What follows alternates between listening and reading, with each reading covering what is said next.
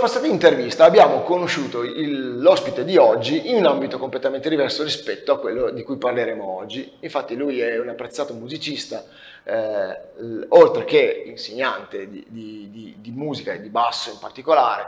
Lui ha avuto la fortuna eh, di eh, suonare anche con grandissimi artisti. All'epoca della prima intervista eh, ci raccontò anche di aver suonato insieme a Phil Collins, che chi è che non conosce, uno dei veramente mostri sacri della musica internazionale. Oggi però Francesco Vecchia che è qui con noi, buongiorno Francesco, Buongiorno Davide, Eh, buongiorno a tutti. eh, ci viene a raccontare un'altra grandissima passione. Siamo passati dalle sette note, ma con qualcosa che comunque è legato, perché la musica è, è parte integrante del cinema. E tu non sei qua come attore, non sei qua come regista No? o sceneggiatore, ma tu sei, come definirti, un collezionista. Guarda ti direi più uno che va a rovistare nella spazzatura del cinema. Poi veramente è quella cosa lì. Nel senso che purtroppo, come penso si sappia, eh, beh, due fattori. Uno il passaggio al digitale, Mhm. Quindi quando andiamo al cinema oggi ciò che vediamo è tutto digitale. Eh, è scomparsa la pellicola, sono scomparse le macchine che si utilizzavano per proiettare la pellicola. E tu le hai recuperate. Esatto, e tante sale, ahimè, eh, soprattutto quelle che non hanno potuto sostenere la spesa per il passaggio da pellicola digitale che ha richiesto grandissime spese in termini economici da parte degli esercenti, chi non ha potuto sostenerle ha magari chiuso il cinema, il cinema è stato abbattuto e quindi tutto ciò che era contenuto nel cinema è stato buttato letteralmente in discarica. E allora lì arrivo io. lì un, arrivo un io. collezionista un po' fuori dai generi. Sì, eh, sì, sì. generis. Un salvatore, un, sal- un salvatore di proiettori, diciamo così. Salvatore Salvatore di proiettori, salvatore di storia, di pezzi di storia del cinema di metallo e di ghisa. Malattia fin da bimbo, questa qua. Ehm, sempre avuto la curiosità, eh, ricordo quando andavo a vedere i film, mi ha sempre portato fin da bimbo e più che guardare il film io guardavo dietro Certo. eh, in quel rettangolino da cui proveniva questa luce, sempre chiedendomi chissà cosa c'è lì dietro. Qual è il miracolo qual è il miracolo che permette luci e suoni in questa sala. E quindi è successo che, eh, parla chiacchieravamo prima telecamere spente, proprio alla proiezione del film nuovo Cinema Paradiso, quindi era l'89 o il 90, 7, 8 anni, eh, la cara signora Gabriella del Cinema Perona, eh, conoscente dei miei genitori, sapeva di questa mia curiosità.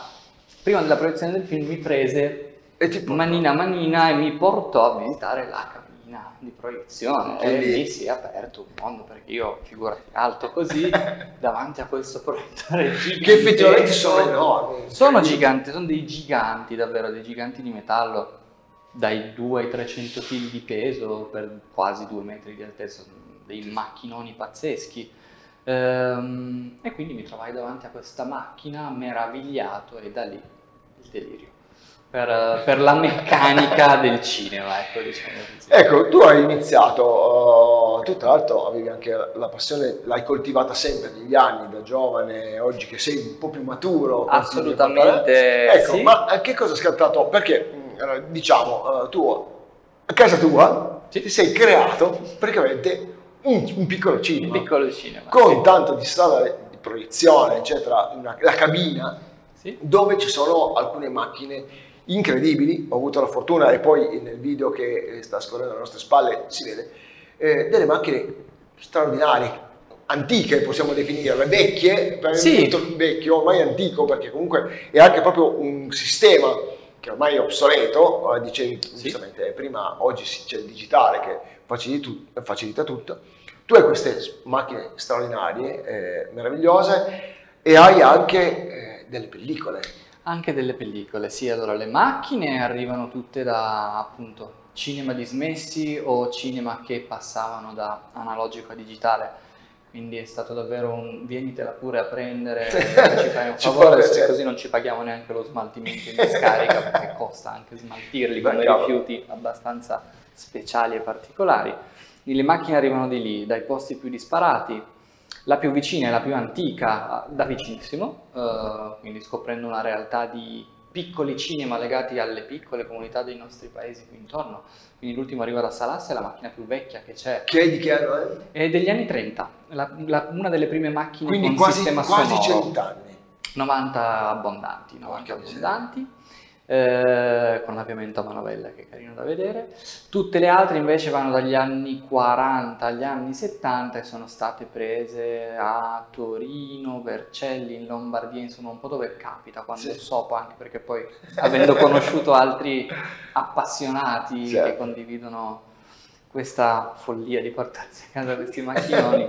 Quando c'è in zona qualcuno che sa, guarda che c'è il rischio che questo vada, ci, ci- ci passiamo parola a chi è più vicino va e prende e va, si porta a casa, diciamo, adesso come vediamo nel video che scorre, sono completamente restaurate, belle scintillanti.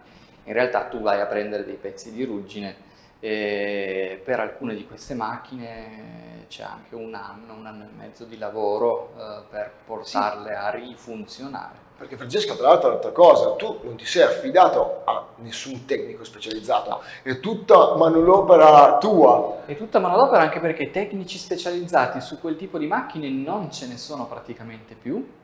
Eh, I pochissimi che ci sono ti chiederebbero una cifra impossibile per restaurarla. Esatto. E quindi, complice il Covid, ce lo siamo raccontati noi, eh, avevo avuto occasione di prendere la prima di queste macchine che è stata ferma, smontata nel mio garage per un paio d'anni. È stata la buona occasione per, visto che c'era tanto tempo, provarci da solo. Cavolo. E quindi vai, ti prendi i libri, i manuali, la rete aiuta e ti studi elettromeccanica. Fonda- fondamentalmente quello. Hai- hai- ti sei messo a studiare. A studiare elettromeccanica, scoprendo una predisposizione verso questa cosa che non Beh, sapevo. Direi che è Eh, lampante perché quello che hai fatto Perché è funziona, straordinario. quindi vuol dire che qualcosa di buono c'era, sicuramente dalla genetica arriva qualcosa. Mio, mio nonno costruiva quei proiettori, lavorava in microtecnica a Torino. Ah, cavolo. Quindi sì, sì, ricordo nei suoi racconti era sempre viva la microtecnica e la costruzione. Lui era un tornitore specializzato in certi particolari, Mhm. quindi qualcosa arriva di lì. Ok. E per il resto mi sono documentato e ci ho messo mani, eh, ci ho messo mano, esattamente.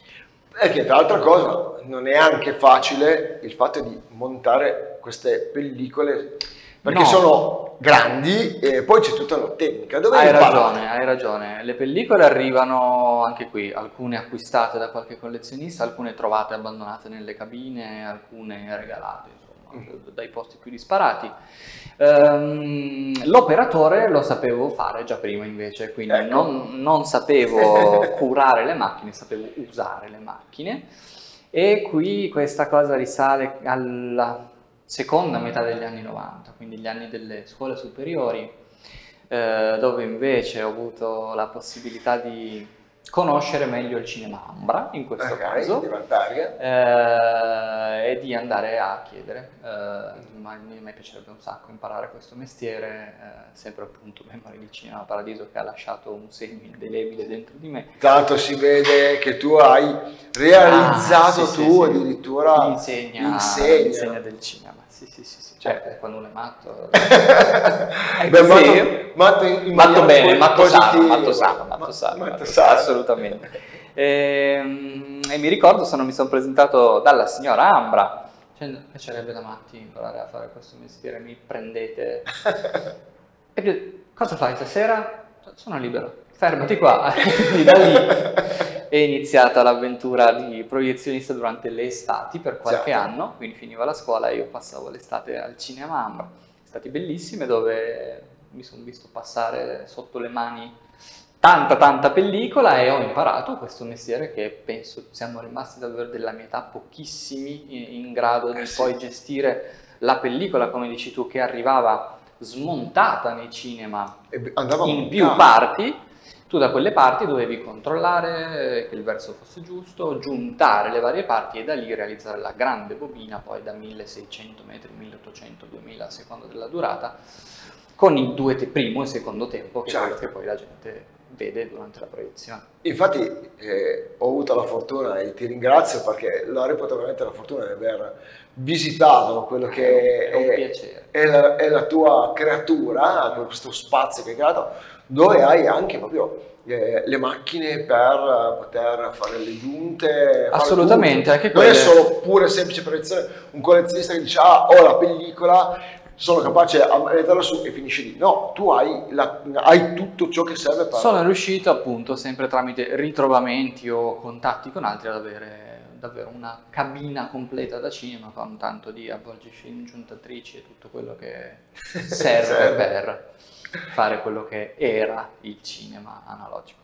Domanda, gli amici come hanno preso questa tua passione? Allora, gli, lo, lo condividono? Gli amici, gli amici. Uh, amici, famiglia? Sì, sì, eh, la, la, mamma si è rassegnata a non avere più un garage, perché quello che si vede è il garage di casa di mia mamma. Ma io credo che la maggior parte di chi ha un garage Quindi, lo vorrebbe così, eh? Diciamo che ha dovuto accettare, ma ha accettato di buon grado questa idea matta di trasformarlo in un cinema, quindi familiari contenti, eh, compagna contenta Amici anche, ehm, e ogni, ogni, tanto ci organizziamo la serata. Un bel cineforum, un bel cineforum di esatto, vecchio stampo. Un, pizza e cinema dentro a, al cinema, al cinema. Sì, sì, sì, assolutamente. Sì, perché anche altra cosa, eh, chi vedrà le immagini, hai anche predisposto una, una sala di visione con tutti i crini, sì, perché sì, con, tra l'altro anche una serie di seggiole che sono anche di anni Seggioline, diversi. guarda, uh, le seggioline rosse gentilmente donate dal Cinema Ambra quando ha sostituito le poltrone. Ammetto che volevo portarmela a casa anche io qualcuno. Eh, hai fatto male. Solo che non sapevo dove metterle.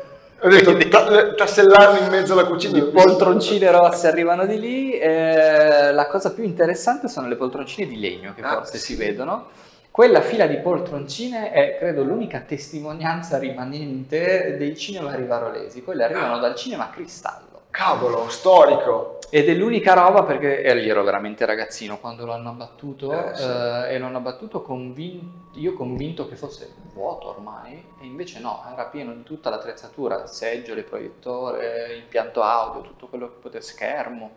Eh, quindi sono arrivato molto tardi per salvare il resto, sono riuscito a estrarre dalle macerie questa fila di quattro poltroncine e quindi quelle arrivano da un cinema di Rivarolo. Di Rivarolo. Quindi hai eh, raccolto un pezzo di storia che al di là di, del territorio, comunque poi come hai raccontato non è solo territorio perché eh, pellicole e macchine arrivano anche da altre zone fuori del Canavese però un pezzo di storia, perché è un pezzo della nostra storia, del nostro vissuto. Un pezzo di storia molto poco conosciuto perché ciò che c'era dietro il muro e dietro il finestrino di proiezione della cabina nessuno lo ha mai visto, nessuno l'ha mai saputo, a meno che qualcuno fosse un addetto ai lavori e lì ci sia entrato. Per cui una cosa secondo me interessante da conservare proprio perché, come dici tu, patrimonio anche di conoscenza tecnologica, se tu ci pensi queste macchine, eh, le aziende italiane che producevano proiettori,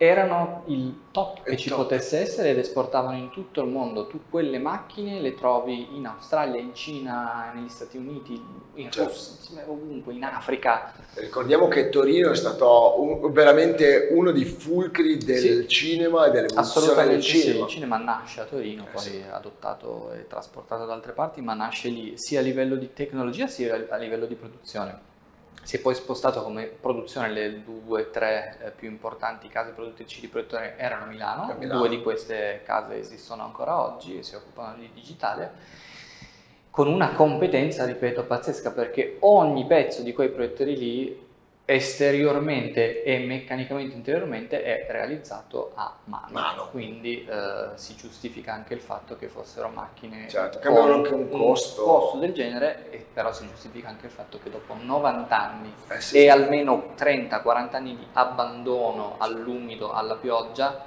siano con un po' di lavoro siano ancora lì e funzioni. E teniamo conto anche ore e ore e ore. Ore e ore, ore di proiezione, sì sì, eh beh, calcola che in un cinema di prima visione quelle giravano tutto il giorno, quasi tutti i giorni con un giorno di pausa. Eh sì, sì, ore e ore sul groppone, sono ancora lì a fare il loro dovere perfettamente e penso possano farlo per altrettante ore.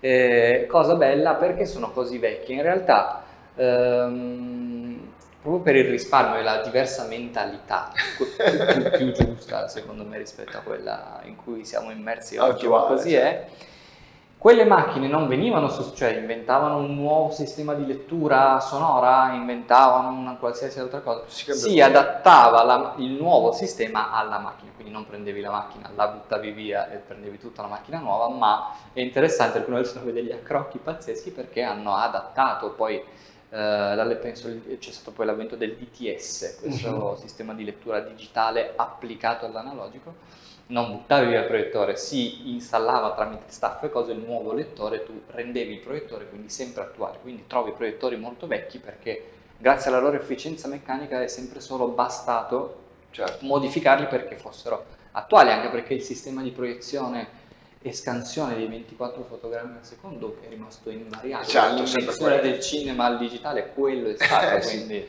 Anche perché è sempre questione della visione dell'occhio umano che ha bisogno di quella numero di fotogrammi, di quella velocità che non cambia. E che non sa che in realtà quando guarda un cinema in pellicola vede un sacco di nero.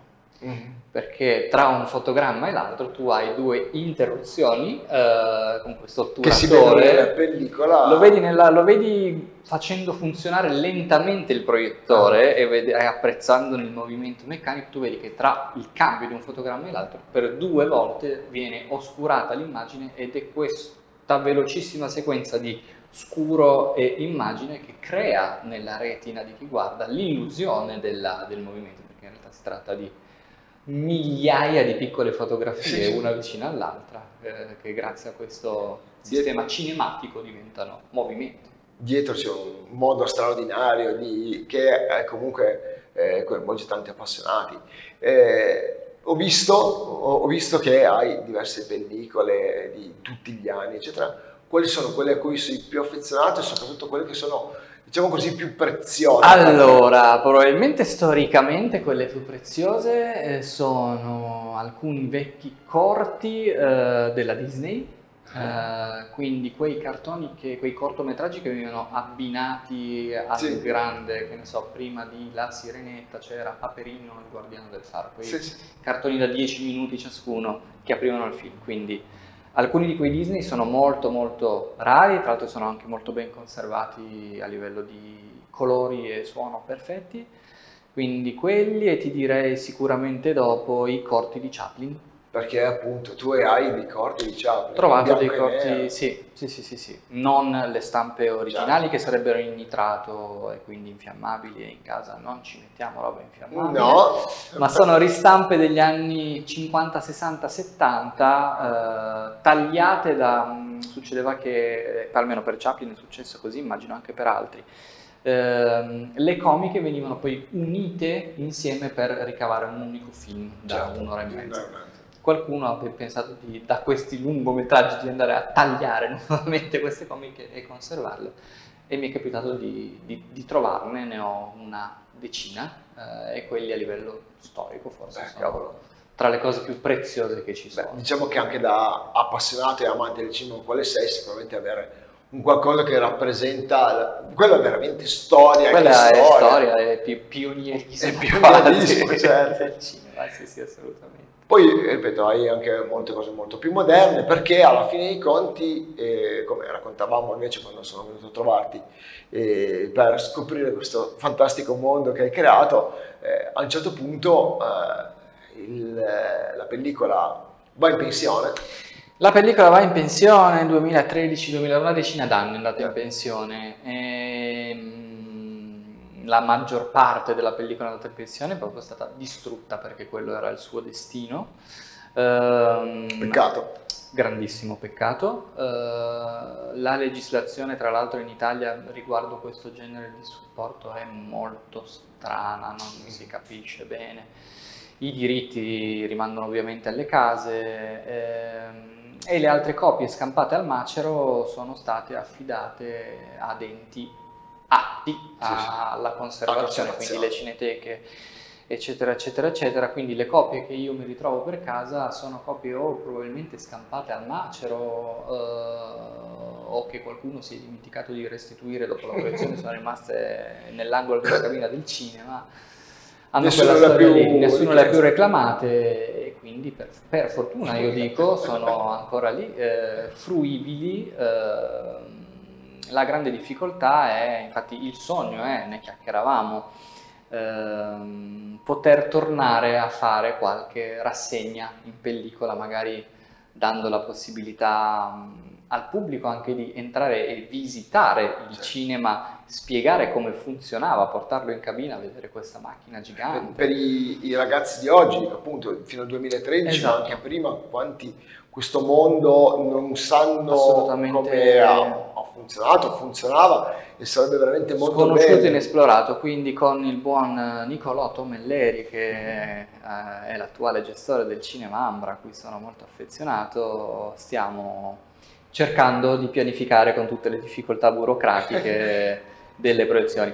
Nel caso in cui ciò avvenisse, ovviamente invitiamo chiunque certo. a venire a vedere, perché dietro c'è stato un, un, grandissimo sforzo nel recupero delle macchine che erano lì ferme da dieci anni, ci abbiamo lavorato tanto, adesso sono perfettamente funzionanti e c'è un uh, grande impegno economico perché certo. riproiettare al cinema una pellicola in 35 mm è davvero molto molto molto dispendioso, per cui vi invitiamo calorosamente a venire per il piacere di scoprire una cosa nuova e di riscoprire qualche titolone del passato. Quindi con Nicolò stiamo lavorando lì, sono in, assolutamente anche in rapporti con Valeria che ha preso le redi invece del cinema Margherita ah. eh, e a cui è venuta, lei si è avvicinata da poco eh, alla gestione del cinema con un entusiasmo pazzesco scoprendo che anche lì lei purtroppo non ha più, eh, non ha al momento possibilità di proiettare in pellicola perché i suoi proiettori sono stati smontati, ma li hanno conservati, sono lì benissimo. Quindi mi sa che qualcuno potrebbe dargli una mano a rimontarli. Chi lo sa, e infatti guarda, stiamo con lei recuperando, uh, lei ha scoperto questa macchina degli anni 30, che è stata la prima macchina acquistata dai suoi bisnonni, e credo proprio a livello di Alto Canavese siano stati i primi a fare proiezioni cinematografiche, quindi Stiamo recuperando questa macchina che sarà messa poi in esposizione nell'atrio del cinema, quindi potrete vederla Beh, tutti. Sì. Anche questo è, è, è bello perché è, dobbiamo guardare il futuro, assolutamente, futuro perché è fondamentale, effettivamente oggi la, eh, è molto più facile, eh, lo dicevamo eh, l'altro giorno, come sia molto più facile oggi avere una prima visione anche in un territorio, tra virgolette, di provincia, eh, mentre una volta quando c'erano le, le, le, prime visioni, soprattutto perché cosa non da poco, uno immagina, oggi vabbè, eh, il digitale ci vuole un attimo, noi siamo abituati alla fruizione di avere tutto in casa, basta, basta schiacciare un clic, un bottone, in realtà invece addirittura il numero delle pellicole a disposizione nell'intera Italia era contato, c'era pochissimo perché costava tantissimo realizzare costa moltissimo la stampa della pellicola 35 mm c'è ancora qualche laboratorio che la fa pensiamo all'ultimo film di Nolan Oppenheimer che, sì. che ha preteso uh, la stampa in pellicola 35-70 mm quindi qualche laboratorio che ancora si occupa di stampe c'è ma davvero è un costo spropositato nell'ordine delle diverse migliaia di euro per la stampa di un di un film da un paio d'ore, di una copia. Di una copia. E quindi per questo esistevano 25-30 copie circa di film che circolavano in che Italia. Giravano e giravano in tutti i cinema, quindi prima quelli di prima visione, poi quelli di seconda, poi quelli di terza e a quelli di terza arrivavano già belli strigacciati. Esatto, perché questo me lo dicevi, perché nel monta, smonta, eccetera. Sì, ogni, passa- ogni, passaggio nel proiettore comunque va a rovinare la pellicola certo. e se l'operatore e la macchina non sono eh, capace, capacissimo l'operatore e la macchina perfettamente pulita in ordine, qualsiasi cosa incontri nel eh, certo. percorso l- di passaggio nel proiettore della pellicola da granello di polvere a vite che sporge va a incidere esatto. e a segnare la, irrimediabilmente la pellicola. Quindi per quello ogni tanto ci è capitato di vedere qualcosa film, sì, sì. non proprio purissimi quando erano in pellicola. Beh, ogni tanto anche quando si vedevano quelle proiezioni anche te- del recupero in televisione di qualche, di qualche film dell'epoca si vede purtroppo rovinato. Anche perché erano trasferiti da Eh, pellicola, eh sì, gioco e- forza, e il, quindi il master arrivava di lì. Era quello. Sì. Eh, Francesco, un mondo meraviglioso, potremmo stare a parlare ore e ore e ore, eh, però ti chiedo in ultimo, hai qualche progetto riguardo a questa, questa tua grande Allora, passione? sì, mi piacerebbe, come eh, sto già facendo, tornare a collaborare con le sale del territorio, magari organizzando qualcosa con chi ancora ha la possibilità di farlo legato al mondo del 35 mm. E sogno più difficile, ma forse quello più grande, eh, con una delle macchine che ho, magari quella più vecchia, più interessante nel funzionamento da, da vedere, riuscire a portarla fuori dal mio garage e ogni tanto organizzare magari nei luoghi in cui si faceva cinema nel passato, riproporre magari in qualche occasione estiva col bel tempo qualche Beh, proiezione. Sarebbe bello perché, come dicevamo, eh, per, per i nostalgici, un po' come siamo noi, sarebbe l'occasione, non solo noi, l'opportunità di tornare a vedere un qualcosa che ci ha emozionato e ci emoziona ancora adesso. Perché eh, l'altro giorno che eh, ho avuto la fortuna e ti ringrazio di vedere alcuni dei trailer, perché tra l'altro tu hai anche diversi trailer di, di- di film eh, ed è stato qualcosa di incredibile, un'emozione veramente eh, particolare che la si vive se eh, la, la- la la provi dal vivo, la provi da vicino, ma anche il fatto di, appunto, come dicevamo prima, portare i giovani eh, e chissà che trovare altri appassionati che eventualmente ti diano una mano in futuro. Perché no? Sarebbe davvero bello creare un circuito legato a questa passione. Un circuito Eh, virtuoso. Un circuito virtuoso, sì, sì, sì, di, di scoperta, di interesse e di appunto proprio passione sana che ci fa muovere le mani e ci fa usare la testa proprio a livello pratico e lavorativo. Al massimo significherà che nel prossimo futuro, tra qualche anno, tra qualche decennio, chissà che non venga anche a crearsi un museo del cinema in Perché no? Canavese. Potrebbe essere, un- potrebbe essere un'idea, sicuramente. Mate- materiale non manca, cioè, il materiale qui intorno non. Tanto so che ho capito che comunque tu sei sempre alla ricerca, quindi la tua collezione potrebbe... Diciamo che non è che sia la- so- ormai sono loro che trovano me. Cioè, si è sparsa la voce, quindi quando c'è qualche macchina che rischia di finire in discarica, qualcuno se il telefono suona, Francesco c'è, eh, andiamo a prendere, andiamo a prendere. Bene. Eh, Allora, allora- allora, aspettando che la tua collezione eh, diventi sempre più grande, eventualmente dovrai trovare un Sì, uno spazio, un, po più, un po' più grande. un po' più grande. eh, grazie per averci raccontato questa Grazie a te, passione. Davide. Ripeto, una- un bel salto, bella- un bel viaggio in quello che è una cosa che il cinema ci accompagna, come la musica, come dicevo l'altra volta, ci accompagna tutti i giorni, il cinema è un'altra cosa che ti- ci accompagna, ci regala delle grandi emozioni. Oggi ci hai regalato una bella emozione, secondo me qualcuno ascoltandoci farà un piccolo salto indietro e andrà a cercare qualcosa di passato. Lo spero. Perché il Spero passato eh, non dobbiamo dimenticarlo, ma dobbiamo prendere spunto per il futuro. È quello che ci ha portato Fino a qua. alla tecnologia odierna. Bene, Francesco, grazie mille. Grazie a te, Alla Davide, prossima, tanto so che la, la prossima volta ci racconterai ancora qualche cosa di, di Molto- particolare. Molto volentieri. Bene, grazie mille, grazie, Grazie a te. ancora. Ciao.